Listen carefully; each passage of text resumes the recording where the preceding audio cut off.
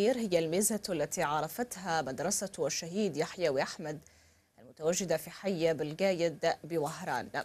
مديرة أو مدير المؤسسة والأساتذة عبروا بدورهم عن الحالة الكارثية التي آلت إليها المدرسة وحملوا السلطات المحلية مسؤولية ذلك. ياسين حسين. فوضى عارمة عرفتها مدرسة الشهيد يحيى وحمد خلال الدخول المدرسي الجديد لهذه السنة. المدرسة المتواجدة في حي بالقايد بوهران لا تتوفر على أدنى شروط النظافة فضلا عن مشكلة الاكتظاظ ونقص التأطير.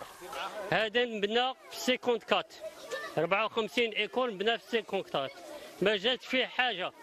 الوسخ عندنا عساس واحد في النهار. عساس في الليل واحد في النهار. في الليل واحد. عندنا فام دومينا زوج على 12 كلاسة ومطعم. وزائد زائد الاكتظاظ في الأقسام.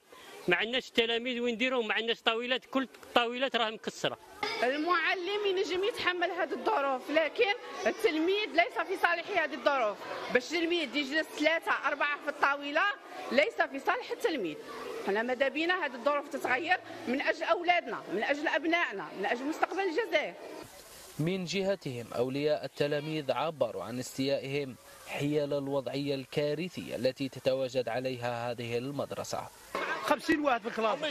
هاي يديروا نحلوا مدرسة. آه، اكتظاظ كبير في هذه المدرسة بزاف. و normalement المدير التربيه يشوف هذه الوضعية تاع التلاميذ. السكان الجدد جاو بزاف. خصنا مدارس خصنا 50 في القسم. دخول اجتماعي ساخن ستعرفه الولاية هذه السنة. بدءا بالدخول المدرسي الجديد إلى المشاريع التنموية المتبقية.